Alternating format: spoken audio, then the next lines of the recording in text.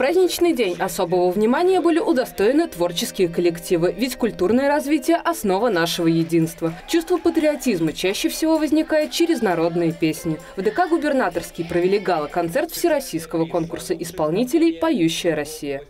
Россия никогда не жила легко, но Россия всегда пела, потому что в песне заложена та объединяющая сила, которая своей силой объединяет все народы, все конфессии. Всероссийский конкурс «Поющая Россия» проводится в Ульяновске с 2014 года, и его география постоянно расширяется. Победителей торжественно наградил глава региона. Гран-при конкурса удостоился образцовый детский фольклорный ансамбль «Добряшки» из Самары. Также Алексей Русских поздравил с Днем народного единства участников и зрителей концерта, подчеркнув особое значение праздника для Ульяновской области.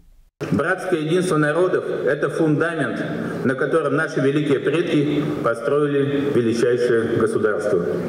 Ульяновская область является одним из самых многонациональных регионов России, где в атмосфере мира, поддержки и абсолютного понимания живут и трудятся представители 120 национальностей объединяют российские народы и общие достижения. Помимо концерта в честь праздника стартовала работа стенда Ульяновской области на выставке достижений регионов России на ВДНХ в Москве. Алексей Русских вручил сертификаты на бесплатную поездку туда выдающимся школьникам и студентам.